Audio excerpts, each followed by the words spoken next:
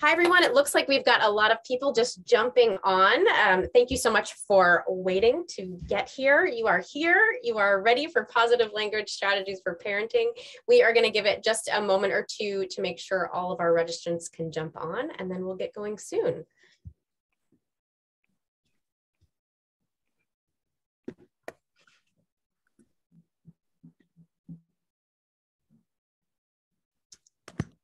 All right, I still see some people coming in. Thank you so much for being here. We're so excited to spend some time today talking about such an important topic. Um, my head has been spinning thinking about this, um, and I'm sure that yours is too. So sit back, relax. We'll be, be started in just a moment or two, and thanks so much for waiting.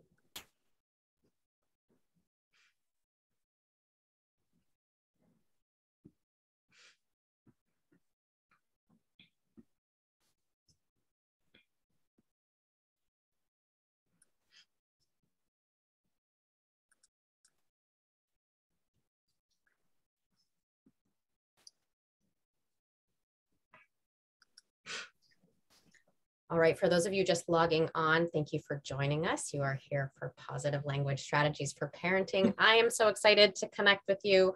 Um, I know Lauren, my partner in crime here, is also excited to connect. Uh, we are going to get started in just a few moments. We've got a couple uh, people logging on, and we'll just give it about one more minute, and then we will get ready to go.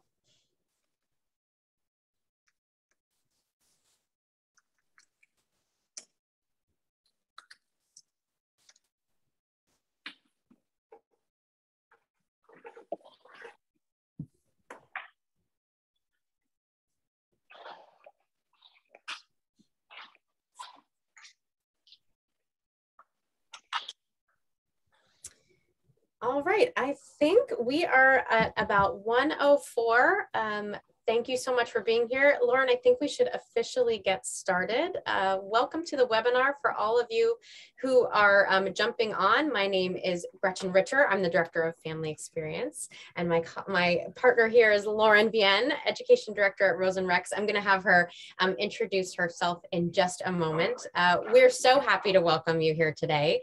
Um, I am also son to four-year-old Noah, as you can see. I'm, I'm so happy to see so many familiar uh, names joining on.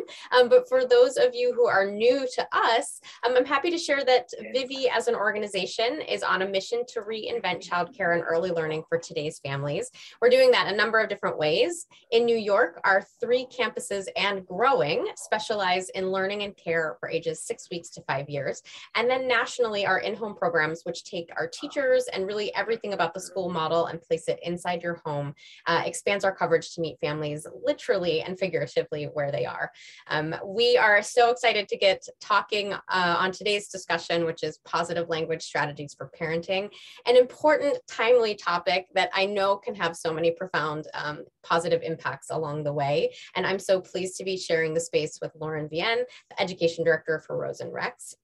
Lauren, I know you're going to share your background a bit in a sec, but wanted to share that Rose and Rex is an amazing toy boutique um, offering curated contact content and selection of elegantly designed toys that promote imaginative play, so aligned with what Vivvi does. Um, and all of their toys in their collection are thoughtfully selected by education professionals, teachers, child development experts. I mean, they have an education director at the helm, which is so important to know. Um, all of this um, fosters a well-rounded skill building. And speaking of that, we are giving away a gorgeous and specifically curated Rose and Rex Toy and Parenting Resource Bundle at the end of this webinar. So please stay tuned uh, till the end to see if you have won. Um, and finally, just a couple program logistics. We have about 30 to 40 minutes of planned conversation, um, and we'll go through a great presentation that Lauren has uh, built for us. And inside of that, we'll bring up a lot of questions based on the wonderful submissions by you, the audience. You actually brought up a lot of questions that she's already going to tackle. So I'm, I'm so excited that your questions are aligned with the content. Um, and then we'll use the rest of the time to answer as many questions live as possible. That said, the chat function is open now. If you've been on a Zoom webinar before, you know the drill. So feel free to pop on um, questions as they come to you. If we can answer them during the process, we will. And if not, we'll try our best to answer um, at the end. This is a conversation that I know we can have for hours and hours and really go deep. And so two things I would say, remember just by being here, you're already chalking up a parenting win. Um, our goal is to take home a single word or phrase or single mindset shift that can set you in the right direction. And um, Lauren has so many other um, workshops through Rose and Rex um, where they really continue this journey one-on-one. So if you are interested in having that conversation, please, um, we'll give you resources at the end to reach out without further ado, I'm going to hand it over to Lauren um, and we'll talk a little bit about what we'll cover and then really just dive into this great content. Um, Thanks. Yeah. Um, Thanks, so first, yeah, of course, of course. So do you want to give us a rundown of the agenda? Sure, sure. Um, also, as Gretchen said, I'm Lauren, Education Director over at Rose and Rex. Um, I wanted to share with you that I spent over 10 years teaching in preschool classrooms before joining the Rose and Rex team. Um, and now I am the mother of two young children myself. Uh, Henry is five and a half and Violet is three and a half. So this work that we do with parents at Rose and Rex with positive language is really blending, um, you know, what as an educator, Allie the founder, and I did in the classroom um, and helping it become accessible and really practical for the home setting. Um, sometimes, you know, we'll find a lot of similarities between home and school, um, and sometimes we need a little support bridging that gap. So today we are going to cover um, the benefits of positive language, both for our children and also for us, um, the adults, and also practical tips like safety and how to set limits using this approach. Um, also some tips for modifying for age and stage. I think sometimes when we see maybe on Instagram or in other social media spaces, um, you know, these phrases that um, parents are encouraged to use, sometimes they don't work depending on how old your child is or their language ability or just their developmental stage. So sort of some tips and tricks um, to shift your language or keep keep at it depending on what's going on. Um, we'll talk about what the difference is between positive language and negative language. Um, most importantly, that positive language does not mean you need to only be saying wonderful, loving things to your children. Um, we'll get to that. Strategies for specific challenging moments. So these like go to the things I hear over and over again. Like, this is what I say to my child so many times a day. What can I say instead? Um, and then I feel like something that's really close to my heart, ending with a conversation about how perfection is not the goal, like why it's actually beneficial to our children if we don't use positive language 100% of the time. Um, and then, of course, we'll have some time for questions and answers. I love that. Thank you for bringing the mom in real life element and the academic sure. element together. Um, it's so nice to know that you're going through this process together as a mom too. Definitely. setting for sure. And, and um, sometimes speaking, sometimes managing a class of you know 18 three and a half year olds probably felt um, less taxing than my two children that i have at home. Um, so it's really interesting to sort of be able to see it from both sides and be able to support families in that way. I love that. And speaking of supporting families um, we've just popped a worksheet uh, that rose and rex has created into the chat function. Um, it's great to download now and take a look at but it's also a wonderful asset to um, download later and save um, so you can bring this up and continue the learning Okay, let's uh, let's put this into practice here. Um, the positive language practical tips. Talk to us about this. Sure. Um, so as I said before, you know, using positive language doesn't mean that we're only saying positive, wonderful, loving, caring things. Um, you can say no using this approach. We should say no using this approach. Um, in the next slide, we'll define the difference between negative language and positive language. But for anyone who's popping on who's unfamiliar with this approach, um, I assure you that your children will not walk all over you. They will have limits set. Um, I find that as a parent, my style is even a bit more um, clear and firm than people who might use lots of negative language or feel like they're saying no a lot. And we'll talk about why.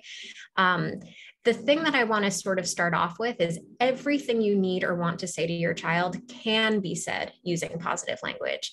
But when it comes to safety, we sort of have to figure out, you know, if for a clear example, an example of negative language would be don't throw your food. And a positive alternative would be food is for eating. So you see that we're showing our children what we expect of them, what is the more appropriate or kinder, safer choice instead of emphasizing that negative behavior. So it's not wrong or bad to tell your child, don't throw your food, but you want to tell them what they should be doing instead. When it comes to safety, I don't expect anyone to see their child on a scooter, like racing to the street and saying streets are for cars. Like you have to say what you have to say in that moment, right? So that's when we reserve, like, if you need to say no, stop, don't, use it for those emergent situations so that you're not saying it so much that your child is tuning it out. Um, I, because I'm like a language nerd and very picky about these things, even in dangerous situations, what I use with my children is the word freeze, because freeze is an action that they actually can take on with their body. It's not telling them to stop doing anything, it's telling them what to do. And when we practice something like freezing in moments that aren't dangerous or scary, like freeze dancing or freeze cleanup, where music is on and you're doing the activity and then it's off and you're frozen, then your child gets that self regulation strategy and they can access it when things are actually dangerous. So, safety, say whatever you need to say. However, if you brainstorm some of these, mm, you know, no, stop, don't running doesn't really seem so effective, or they don't really seem to hear it in the chaos of the moment, try something like freeze because freeze is something that's really active, even for very young children that they feel like they're doing instead. Um, I, I, literally wrote freeze, put a circle around it, did. an exclamation point. Um, yeah, I think I, I, think you'll see. We talked about this. A lot of our parents have that moment of like, but what is the other alternative when the answer right. truly mm-hmm. is stop, don't. And I also I think I heard you say when they're hearing no, no, stop, don't. To a certain point, they start to tune it out. So yeah. I, I like that you've said freeze is this very active word. Um, yeah. And really, they're not. It's not that they don't want to listen to you it's that they maybe aren't hearing you. Right. And also there's a conversation among ed- educators about you know when we lean on negative language, especially in challenging situations, we're really emphasizing the verb, the action that we don't want them to do. So when you say stop throwing blocks, what they often just hear is throwing blocks. They might not hear the don't or the stop because it takes them a minute to pause what they're doing or because they are just focusing on the action physical word. So for us, if you're telling them what to do instead, you know, that's where we're going to get some results um, for them and for us. You know, when it comes to some some parents will say, "Well, I feel like I'm using positive language or I'm trying to, but I'm saying the same things over and over again and I feel like they're I feel like it's not working, or I feel like, you know, I'm seeing the same results. I feel like a broken record. Um, there's a few pieces to that. You know, we have to understand where our child is um, developmentally. Um, sometimes limit testing is part of their developmental uh, equation in life, and and repetition is really helpful for children, especially when we're modeling language. If they hear us using certain phrases, there are two parts to that. You know, one is that their inner dialogue instead of someone telling them what not to do and then they're focused on that negative behavior that we don't really want them to repeat then their inner dialogue becomes like walk please walking feet on the pool deck instead of the stop running so some mm-hmm. of the inner dialogue can help in terms of repetition also we as adults and certainly as children need to practice things in a variety of settings. So you might say one thing in one place, but then your child needs a lot more practice when they take it outside of their home or when there's other people around. So it's okay. Repetition can sometimes feel frustrating to us, but it is really helpful to children when it comes to language. And the more that we model language and say to them, you know, you know, instead of don't grab the shovel, say, you know, tell her I'm still using it. Those kinds of you can tell her, you can tell him this or that. Um, that's when our children are going to be more independent using those phrases too. And that takes repetition. So we'll talk a little bit more about modeling language and how we can encourage children to use positive language to each other and how it gets your needs met, you know, because if you're telling someone what you need instead of what you don't want, you're more likely to get mm. what you need. It doesn't happen all the time, um, but it's it's a step in the right direction you know if my children are arguing in a room and i pop my head in and i say oh remember like i'm hearing a lot of don't do this. I don't like this. Remember, tell her what you do want, tell her what you do need. And then at least they understand each other in that moment. I just scribbled that down furiously, and that, that feels like something that both adults and children can really get behind is stop telling right. us what you don't want and start talking about what you need. I love that. Right. And also the ripple effect in terms of home, like how it feels in your home in terms of the communication style. There's more clarity when you're expressing what you do want, what you do need, than that resentment factor of what you don't want. You know, even as a parenting partner, you know, if I say to my husband something like, don't put that cup there, it feels very different than, you know, oh, please just put that away when you're finished both might also feel a little bit like too much depending on your relationship but there is a difference in how you're expressing it and also how it's being heard. Um, you know when i say we aren't always going to get it right i think that it's important when i share some specific swaps like instead of saying this try saying this. I don't mean it as a script. I mean it as try to do a little bit of detective work and figure out why this behavior is happening and what your child can do instead. So if there's anything that you know people who are new to positive language take away, you know the bare basics are we're telling our children what they should be doing instead of what they shouldn't be doing. That is like very very basic, but also you know that we want to figure out why these things are happening so we can replace them with something else. We're not trying to just stop a behavior. We're trying to figure out how our children can be independent in choosing to do or able to do something different. I love that. And it's okay to just pause. We're going to, I think we're going to finish up with it's okay if you get it wrong and here are some strategies right. to bounce right. back. It's good for them, actually. yeah, exactly. Oh, I love it. I can't wait. So you just you um, touched upon positive versus negative language. Let's explore this a little bit. Sure. So that example that I shared earlier too, you know, don't throw your food only negative because you're using do not, only because you're telling them what not to do, not because it's negative or wrong as a parent to say that. Um, so some simple swaps, you know, don't do this, you can't do that. In positive language, you're going to tell them you can do this instead. Um, you know, something like I just shared running on the pool deck. If you find yourself saying, like, don't run, don't run, don't run, even just saying walk, please, it's a very, very simple shift, but it tells your child what to do instead. And the reason why this approach works for very, very young children, like just about speaking toddlers through much older children, is because for younger children, it's confusing to be told what not to do because you're not getting any information about what you should be doing. So you're asking a toddler, a young child, to do two things. Now you know that that's not allowed, but what are you supposed to do when you have that same impulse again, or when you have that same feeling or want again? And for older children, it lessens a bit of the power struggles that we see with children like Gretchen's son. I'm sure, you know, at four and a half, they're they are supposed to be, you know, pushing limits and wanting to be more independent. But when they feel like we're hovering over them, there can be a lot of resentment. So you can express the exact same thing in a slightly different way. And then there's less of a power struggle. Doesn't mean that they won't be there, but it means that it feels different for him to hear and feels different for you to say. Can you share an example of that for the, the older kids with that power struggle? Sure. Some of the things like if I'm asking my child, like if I'm asking Henry at five and a half to like continue tidy up, you know, like those kinds of things. Instead of saying, you know, don't leave your playroom until it's cleaned up, I can say, when your playroom is cleaned up, then come join me for a snack.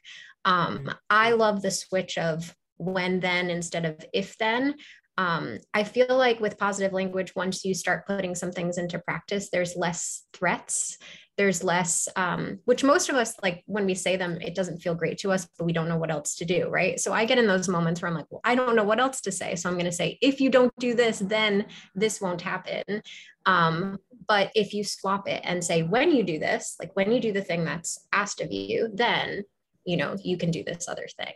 Um, and then it feels like more of a challenge. Sometimes i'll add in like a i know you can do it or you know i wonder how quickly you can do it so that it doesn't feel like i'm already saying i'm annoyed that this hasn't happened yet just by saying like when you do this this will happen.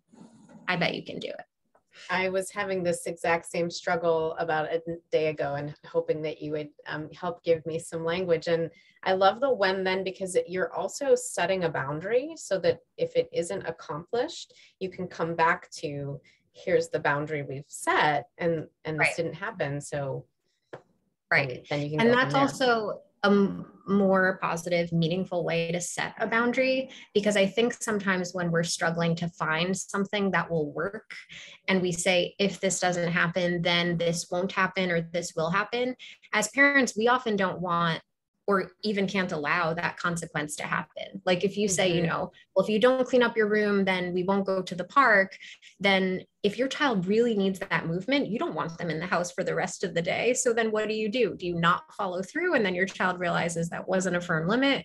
Or do you keep them in and then it kind of like no one gets what they need in that moment? So I feel like if you can rely on, you know, well, it's not a matter of doing it or not, it's a matter of when you do it. So when you do it, then and sometimes, you know, some people will say, okay, so what if they don't do it? What if they don't clean up?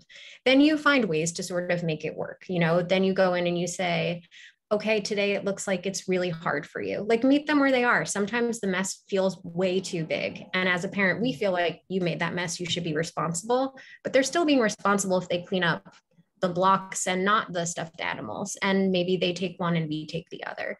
Or maybe we sit there and do our work while they are doing their work of cleaning up. Sometimes my son, being older, just wants the company. He just feels like he's missing out if we're in another room and he has to clean up this elaborate structure he built. So sometimes me just saying, you know, I have a couple things to finish up, I'll sit with you and keep you company while you do it is enough to sort of get it going. I love this. And I love that you're setting this framework um, when all things are sort of easy to manage, but we're going to get into more challenging situations, which For is sure. exciting because a lot of our um, registrants really had some questions about those those challenging um, right. challenging moments, challenging behavior. So, do you mind if we go forward? The one other thing I just wanted to share is that you know in the beginning it's going to feel like we're prompting a lot we're going to feel like we're mm. often saying like you can do this or you should do this or here's this example of what i expect of you. And some people feel like their child is going to rely on that and not know what to do when they're not there. So i think it's just important to share that you can prompt less as you practice and as your child practice.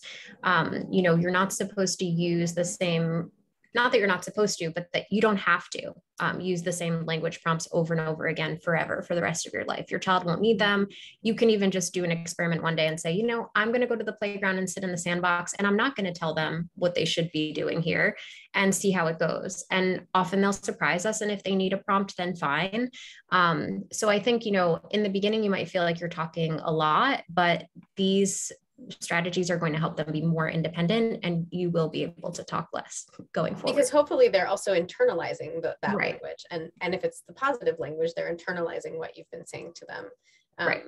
so when you're working with families and they they feel like they are just on repeat on repeat on repeat is it more for you? Are you managing a parent's stress? And and are you just reminding them it's okay. I know it feels like you're saying this over and over again. This is these are the right things to say keep breathing through Both. it yeah. Sometimes sometimes i'll say like that's okay for now. You know this is very new to your child. Keep going. Um other times i'll say okay so if you think that you feel like you're talking too much then then don't. Like then don't and and see maybe they need half the amount of talking or you know because i'm a big believer like gretchen i'm sure you are too of in simple observation. You know we do have to sort of take a step back and see what are their skills independently and then meet them where they are. Do they need support in this situation or would they have figured it out on their own? We won't know if we're you know always there. I love it. Okay, so challenging. We we could talk about lots of different categories and we tried to break them down into some popular mm-hmm. challenges. Yeah. I love the example of grabbing because grabbing is something that happens from babies to much older children. Um, and it really is an impulse control challenge. It's like that feeling that they they need that thing right now. It's not even a want, right? It's like, I have to have this truck. Like my life depends on it. Um, so, you know, we really have to be careful about saying don't grab because if we're saying don't grab, if you know your child and as the reach is happening, you know you're going to prevent it, you prevented that grab, but you didn't teach them what to do when they feel that impulse again. So, this grabbing skill, especially if you have little ones, um, telling them who is using the item, having them be able to practice pausing and scanning a space and seeing what is available versus what is being used is something that will serve your child well for years and years. So instead of saying, don't grab, this is, you know, don't grab the truck from Henry, saying, Henry's still using that truck. I see the race car and the school bus are available. Your child might still cry for the truck, but you've done that step of saying, so and so is using it. This and this are available.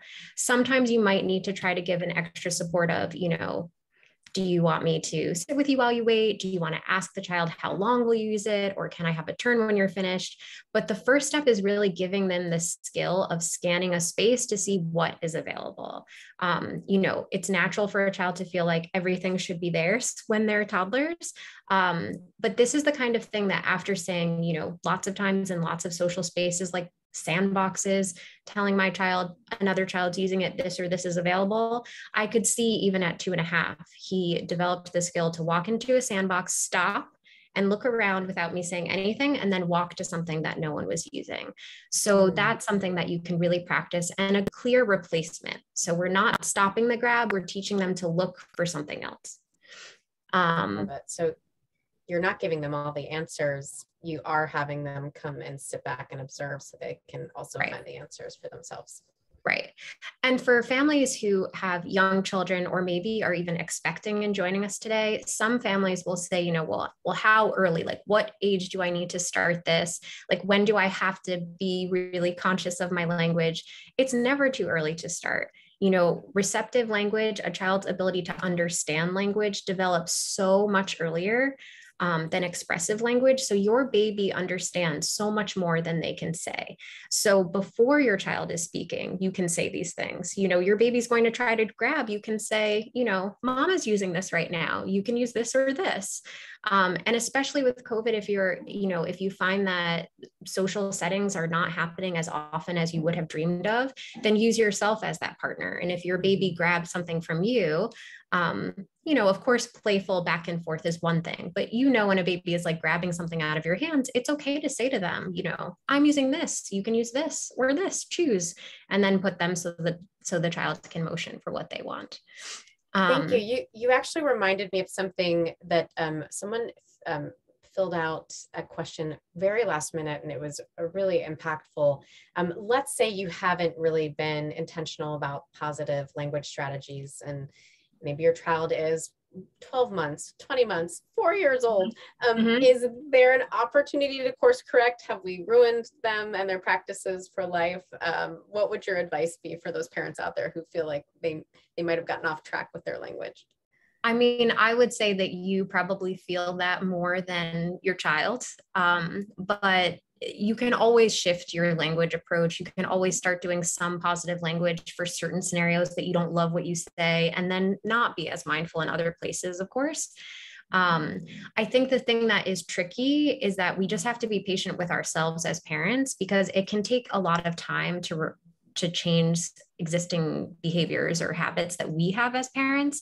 So I think sometimes when a child is older, it's just so immediate that it comes out of our mouth no, don't stop. Um, but being aware that you're saying it is definitely a huge first step. So if there are some things that you want to change, I like to think think about things like one week at a time. Like I'm very big on like weekly family challenges. So I would focus on, you know, if you're saying don't grab from your sister you know, this week, just all week, try to say your sister's using that. Or even better, depending on how verbal the sister is, you know, saying, tell him I'm still using that, or tell her I'm still using that to give them the words to say. Um, but yeah, I would take, you know, one scenario or one phrase that you're saying that you want to replace at a time. Um, and and once you see how your child responds to it and how you feel, you'll be motivated. Um, it just takes time. Great advice. Great advice. One thing at a time. And negative does not mean bad, that you're doing a bad job. No. It just means you're telling them what not to do or what you're focusing on what you don't want them to do. Yeah. I love that logic. Um, right. Okay. Destructive, dangerous behavior like throwing sand Um, I feel like living in New York City, everything my children learned about socializing, they learned in a sandbox. Um, and as a parent, totally. I learned a lot as well. So you know, when it comes to something like don't throw sand, saying sand stays inside the sandbox, if you have a younger child pairing it with a physical gesture like dropping the sand can really be helpful. Sometimes, again, they might need choices. Like maybe you say sand stays inside the sandbox the first time, and the second time you say that, and you also say, um, you know, you can dig with the sand or fill this bucket with the sand. Which do you choose? I love this example because again, it's a really great way to show meaningful consequences, like how to set limits and how do you follow through if you're reminding them in a positive way what they should do, but they won't or can't do it at that moment. Mm-hmm. So that's when I would say, you know, Mama reminded you sand stays inside the sandbox. We're all done with sand today. Now you can play somewhere else at the playground. And then, no matter what, the child is not going back in the sandbox. Um, I feel like often these situations are met with lots of tears or apologies, or my older son now will say, like, I know I can do it now. And and I often will say, you know, to, and in and tone is really important here. I will say, you know, I know you can do it. You can try again tomorrow, or you can try mm-hmm. again when we come back after lunchtime. Children need to know how long a consequence is going to be in effect, and time is really blurry for them, right? Like there is no concrete context of time. So, something really specific of, you know, they can't play with blocks because they were throwing blocks. So, you say, you know, your body was too rough with blocks. We're going to put the blocks away. After lunch, we can try to build again. Just tell them that you really know that they can make a different choice and tell them when that, that time will be. I really appreciate that you've escalated this situation because I think a lot of our families out there are saying, but what if I've tried the choice and I've tried the positive language and there's uh, still a listening problem or they still aren't able to manage it at this time? It's great that you're still setting limits here and right you're asking, okay, now it's time to be done with this and we're going to leave. And I, I love that it's all, it's all been done in a way that still gets you to your point and still sets boundaries. So. So you as the parent might still feel like, well, now at the end of this exchange, I'm still like physically helping my child out of the sandbox. They're weeping. However, that's what needed to happen in that moment. And the next time you go back, you can decide based on age or your child's personality and how sensitive they might be. You could give them a reminder when they go in and just whisper in their ear, like, I know today you can keep the sand in the sandbox, or maybe you don't, because maybe that would bring up feelings for them and you just don't want to go there and just let it be fresh the next day. Um, but when we say meaningful consequence, it should be something that's related to what's happening. So you wouldn't say something like, you know, I reminded you sand stays in the sandbox. Now there's no dessert after dinner because dessert has nothing to do with sand.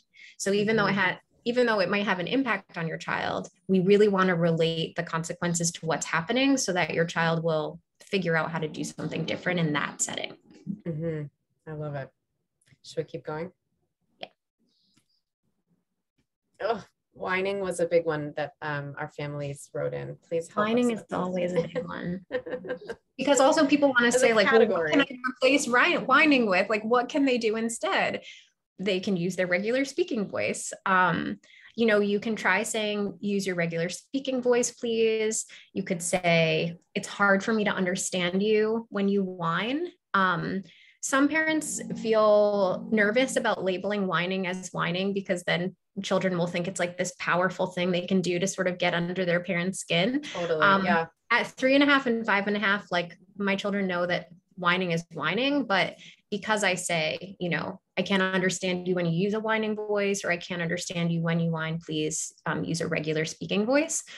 And the other thing is, you know, sometimes we have to think about these behaviors and like, do they really need to stop or be replaced or is it something that's driving us crazy mm-hmm. um, you know sometimes it's I try to tell myself they are trying to get their point across verbally. I would prefer that they speak in the voice that I know that they have within them. However, they're not pushing or hitting or being destructive. Like they really are trying to verbally express something. Um, sometimes also, you know, meeting them where they are emotionally, like maybe they're whining because they feel a lot of feelings. So saying, I can tell you really want this, whatever um, please use your regular speaking voice and then we try to move on. Um, sometimes they just sort of put that emphasis because they feel like no one's like really hearing them or really paying attention to them. And whining escalates when we're multitasking as parents. So sometimes if you stop if you're able to stop what you're doing and turn to them and say try again in your speaking voice sometimes that's enough to sort of nip it in the bud. Yeah i love that. So really exploring the reason why whining is starting are they hungry? Are they not getting attention? Yeah. So there's other things behind it. Um, this this could potentially escalate into something that we didn't put on here, but that um, like a meltdown situation mm-hmm. where it's, it's gone beyond whining. It's it's a it's a full blown explosion. Um, are you right. have you taken your hat off and you're not necessarily trying to talk your way out of the meltdown or, or positively reframe the meltdown? Are you just kind of looking at the situation first and then going in? How have you given advice about? I have I have one child who talking through a meltdown is helpful. Um, where I helping that child identify his feelings is helpful, and I, I'm careful to say, you know, it seems like you're feeling. I would I don't say like you're feeling this way because I'm not really sure. Um, and I've done that since my children were babies. Like it looks like you're feeling, or it seems like you're feeling, um, because sometimes if you say I can tell that you're feeling this way, they'll say like, no, I'm not. You know, mm-hmm. so so that is helpful for that child talking through even almost right away in the in the meltdown saying like well how could we do this differently next time as a family? Like if i've done something that really upsets my son he can say you know well next time you can try this instead of this. I have another child who not because of her age because of her temperament and who she is as a person cannot and will not talk during a meltdown. Um, doesn't want physical comfort during that time so I have observed my children enough to know who needs more language in a meltdown and who needs less. Um, and for Violet, she has always needed just someone to be near her and let her know, like, I'll stay with you when you're feeling this way. Um, and I don't try to label her feelings. And she can talk about it maybe an hour later, um, but definitely not in the moment. I think being careful, um, personally, I try to avoid using the phrase use your words um, you mm. know, I think sometimes as parents, we use it in physical situations when you don't want them to use physical behavior, but it also is sometimes used in emotional moments where, where parents are desperate to know what their child is crying about. And they'll say, you know, use your words, like instead of crying, tell me what's going on. But if our children had access to their language at that moment, they would tell us what was going on. Like in times of stress, sometimes just like us, like they're not their articulate selves. So I try not to push either child to talk about what's going on, um, but I do stay nearby. And I do like this, like, strategy detective hat where afterwards we'll often say you know what was it about that that felt so mm-hmm. much for you and and what would help next time or what do you think we could do differently yeah like man uh, sort of in like the managing big feelings like talking about those big feelings in a way that's more objective and right what do you do with those feelings mm-hmm. sometimes they don't even know right away why they were feeling that way um, i feel like my daughter with time can sometimes reflect back and, and say but in the moment I, I sometimes do not know um, what the feelings are about. For me, it's just most important to show her that, like, I'm not going to send her away when she's crying. I'm going to stay nearby. Um, even though she doesn't want a hug, I don't take that as rejection. I just want to want her to know that, you know, I'm I'm here and when you're ready to talk, we can talk through it. You. Um, you know, sometimes the emotional stuff will escalate to physical stuff, right? Sometimes it's in those moments that we see children sort of lash out because they've reached this stage of being like very unable to regulate their bodies because of their feelings. Um, instead of saying something like, don't hit, immediately saying your body is too rough calls your child's attention to their body. Um, you can say that as you are physically separating children. Um, it doesn't have to be less quick, less firm. Um, but for me, saying don't hit again is really emphasizing the hit. And it also becomes like, I'm telling you what not to do, which of course I am, but I would rather have them immediately think about their body um, to get mm-hmm. that awareness of their body and then sort of translating why I think the hit happened is really helpful. Um, for younger children, like for a two year old, it the most important thing is to say, you know, your body is too rough. Um, and then as you get older, you know, saying things like, it looks like you really want to read the book. Um, you can ask her, can I have that when you're finished? So that they know, like, yeah, I was rough. And also, this is what I needed to say that I couldn't say in that moment.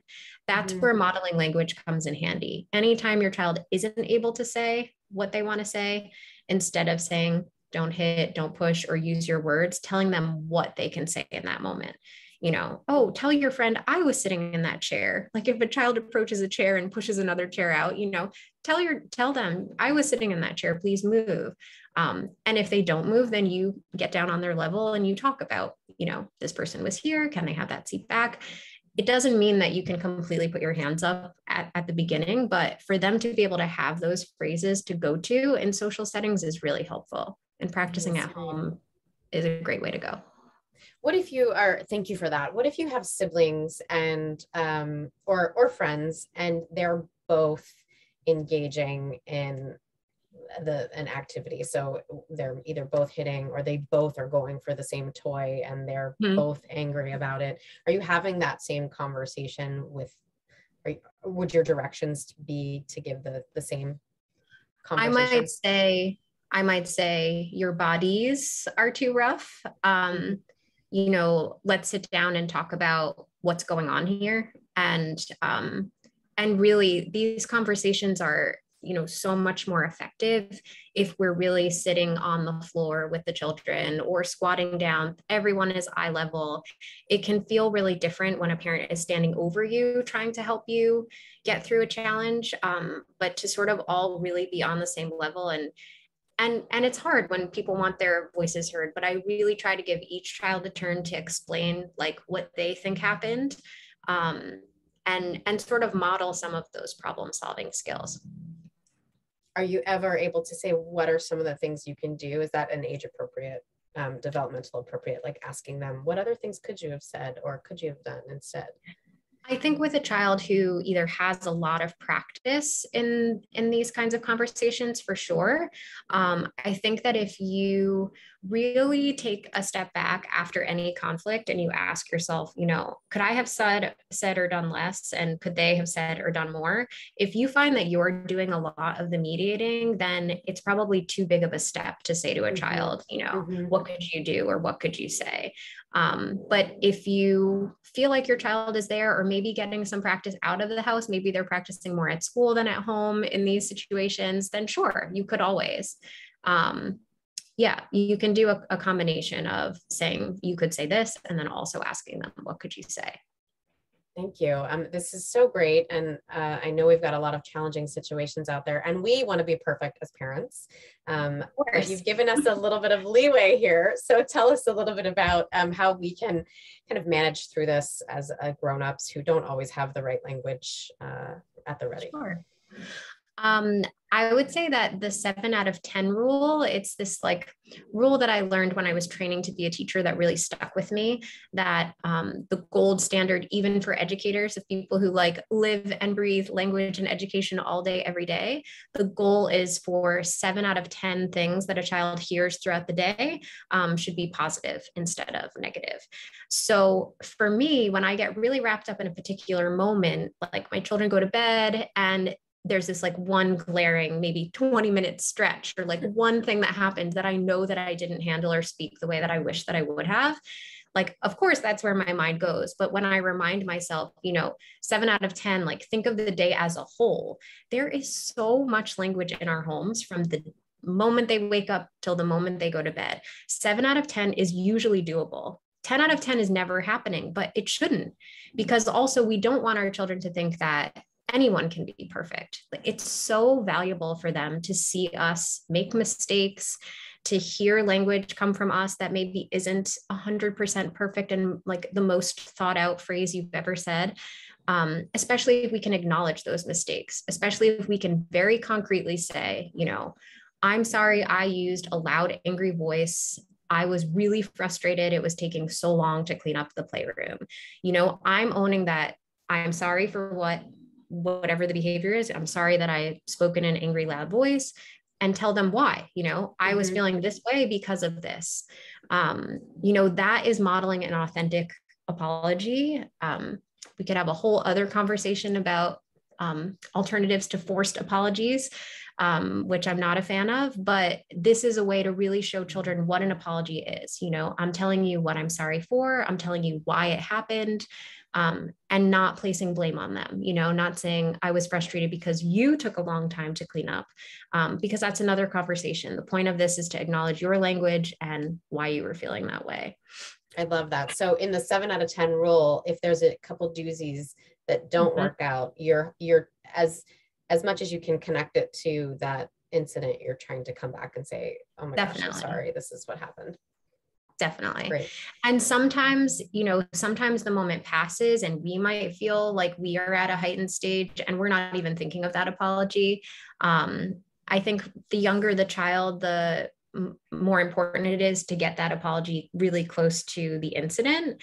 Um, whereas now, um, thankfully, because I have plenty to apologize about, now at three and a half and five and a half, I'm able to, if I didn't get to apologize in that moment, um, you know, I can say, you know, I was thinking more about this morning. Like sometimes after school, mm-hmm. on our mm-hmm. way home from school, I'll say, you know, when you left for school, I was thinking more about this morning and it didn't feel good the way that, you know, our family left things like I wanted to apologize for this, whatever. Um, it's always, you know, the door is always open to say, I was thinking more about, um, and that can help us in a lot of situations. I love that. Um, now coming into the grown up space, and, and we had a, a question that actually came in about this how do you what's mm-hmm. advice that you have for someone who wants positive language with their children but the spouse is not on board or less concerned interested about using this language so um, how to encourage this to happen in all of the people that are interacting with your child. Yeah. I mean, I think that, you know, it really bothers me too when people speak to my children in a way that I would not.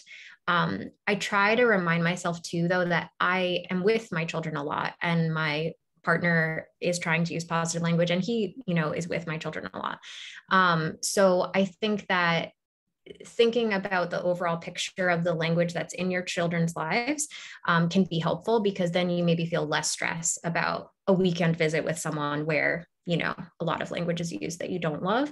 That being said you know in terms of everyday presence caregivers if your extended family is a part of your life um, in a big way then that's where sometimes if you really get down to the basics and you say something like i find that she has been listening better also listening better. Like maybe i wouldn't normally explain you know describe my children's behavior that way but um, saying you know i find that she listens better if i tell her what to do instead of what not to do. Or you know refer like leaning on things you've learned or experts you know saying this printable um, pdf that was just shared in the chat. Like having a tangible hey you know i went to this workshop and i learned these things and i'd really love for us all to try them. So that it comes off as like this is something i want to take on together as a team instead of um, you know i know better or um, people are very sensitive about all things parenting, of course, but um, when it comes to language, you don't, it, it, you want to avoid having someone feel like they don't know how to speak to your child or have them be afraid to speak to your child. I mm-hmm. met a woman at a children's museum like years ago with my children. She didn't know that I was an educator, but we were chatting and she was a grandmother with her young grandchild. And she was saying, oh uh, I, i'm not supposed to say no anymore so i don't i don't really know what to say and i don't know if she was told she couldn't say no or if that's how she felt because mm-hmm. perhaps we right now are working on a lot of language goals that you know generations earlier expressed differently. Um, so i think also saying you know it's okay to say no. And you know here's how we've been setting limits can sometimes help other people feel okay because there can be a little nervousness about if i'm using positive language um, i can only say good things all day long I love that. I, I also loved earlier when you said um, take it a one week at a time. So having like mm-hmm. one week goal. And I know for me, I'm going to go home and share with my partner. I love this idea of freeze. Can we try it mm-hmm together and it's just one thing that we have to work on and so right. if you're coming back to a partner you're not saying i have this 14 page list that I've learned and I'm, we're going to implement right away. Maybe pick three things that we can get around together right. Um, right. And, and grow from there. So starting starting small too. Right. I think if you experiment with putting positive language into practice at home, and then you spend time with other adults who feel like they are on top of your children with no, stop, don't do this, even if it's little things like, you know, banging into things in the house or those little things as a parent to me start to sort of add up because I know that my children don't normally like live in an environment where there is that energy around them. But sometimes I have to look at my child and say, they're okay. Like it didn't really bother them that someone said, don't put that cup there instead of you know put this cup somewhere else like is it bothering me or is it bothering my child right. you know at another right. visit maybe my child i can tell is like very out of sorts because they feel like all day long they've been told what not to do but if that's not the case then i sort of have to check myself and say we'll be home soon and I will continue with my seven out of 10.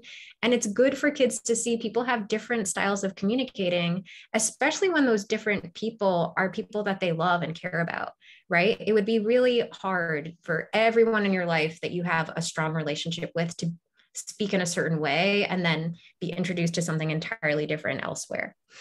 I love that um, thank you for this. And my, I have been viciously scribbling so many notes. I, I hope you've all out there been um, as audience members too. So we've got some time to talk, uh, put in some questions. So please feel free to jump on the, the chat function now. Um, it looks like we've added the link one more time for our amazing downloadable worksheet. So feel free to go ahead and do that. But if there are any questions for Lauren, um, we'd love to pop them up. Um, anything you've been thinking deeply about or something that she's touched on that you want to know a little bit more about, Thanks. let us know. Yeah. As people might be typing, um, I know that something that had been submitted with registration was, you know, what do I do in these moments where like I feel like I'm losing it. Like I feel like I'm already starting to say things, but I don't know how to get it back um, I think I sometimes practicing this pause, you know, as I'm approaching my children, sometimes I feel even the way I'm walking towards their bedroom and I can tell that I'm already tense. I like give myself a pause and I ask, why is this happening? Like, what do they need right now? And the need could be emotional or physical. Because sometimes if we think about the challenging behavior as you know an expression of a need it feels very different than something that's happening that we have to stop or change like okay so why like why is this happening and if you see the same things over and over again shifting some things so that maybe dinner needs to be 15 minutes earlier or maybe they need 15 more minutes to run around um, those kinds of things think about the why i love that take a breath if it's not an emergency situation you can like practice your don't say this say this and, right. and then and right. re-enter the room. Um, interested, someone is interested in hearing the info again when it comes. Yes, there will be definitely a recording. I love that you're multitasking and I love that you're interested in it. Thank you. It's, it's so valuable. Um, looks like taking an hour every night post dinner to dismantle the house, a toddler. We know this. Um, throwing, going bonkers, positive language to be, seems to be futile at this time. I can't remove them from the space. Any tips? Sounds like maybe overtired or potentially getting yeah. into a meltdown. So again, we're going to take the language piece of like replacing the negative with the positive with like an actionable replacement. So if you feel or if you've been seeing that your child is in like total destruction mode, then we just have to brainstorm some really destructive but appropriate things they can do. Like is there something that they can rip at that time? Can you put them in the bathtub with sensory materials and let them absolutely go wild? Um, think about what things they are. It seems like a, a variety of things they're wanting to dismantle but um, if you look at the action of like okay they want to clear the shelves so they're doing a lot of pushing. So what could we do instead? Could we put on ocean music and use our arms in those ways to swim. It sounds really silly, but it's meeting the physical need. Um, it it also sometimes can be um, again like Gretchen said, like overtired or um, you know craving something that's different than the physical. But if they're throwing, and the phrase that the parent used was going bonkers, my guess is that even if you can't remove the child from your space or go outdoors, um, if you could go outdoors, I would say like open whatever door you have to go outdoors and let them run wild. Um, but give them something else physical that they can do that will give their body that same big input as whatever they're destroying. Um, that's appropriate to do. I love that. Um, uh, let's see. Yeah, there's one about um, teaching a second language at home, um, language in native language, but should we do likewise in English for partner and for friends? It's a great question. That is really great. Um, yes, I would say no matter what language we're using, we can always try to tell our children um, what to do instead of what not to do and help them replace these negative behaviors with kinder, safer, more appropriate alternatives. Um, the phrases don't have to match from one language to another. Again, like this is not an approach that has to be scripted. You don't have to find the equivalent to saying, you know, freeze or walking please um, instead of stop running, but the, that the um, that the redirection should be similar. That we're we're telling them what to do instead of what not to do. And you're welcome. Good luck, Aubrey, at night.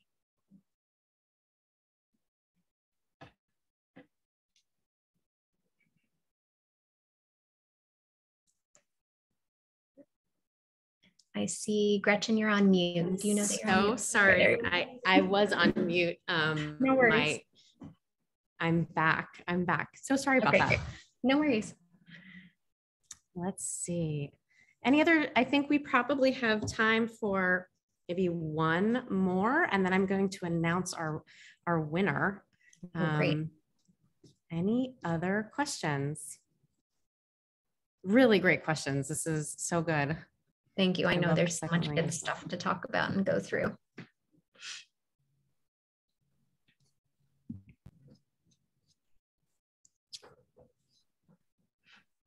Looks like we have one. Um, yeah, any reframe when a child is hitting you, but you can tell that they want that connection. Mm.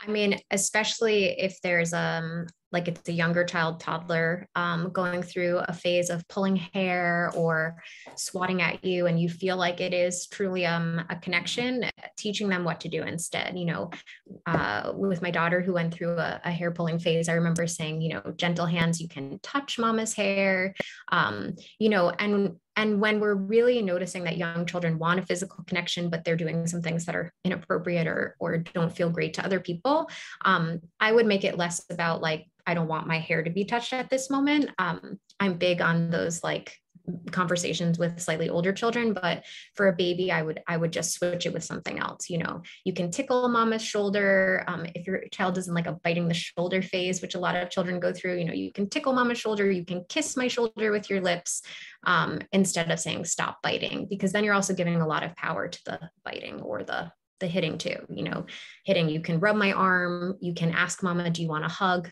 Um, those things can be helpful replacements Thank you for this. And um, thank you so much. I want to keep learning from you. Um, I can't wait to take my scribbles and turn them into action. Um, I know we can keep talking and I hope we can talk again in the future. This has been so helpful. Um, as you can see, audience members, please keep learning from Lauren. She has so much uh, value to offer. And um, I would love to announce that Elodie Payre, I hope I'm saying that right, P A Y R E. Elodie, you are the winner of this amazing um, Vivvi and Rose and Rex package. So we'll be reaching out to you very soon so you can reap the benefits. Um, but really, truly, Lauren, thank you so much. This was a wonderful um, addition to our day. And I hope we keep learning from you in the future. Thank you. Thanks, Lauren.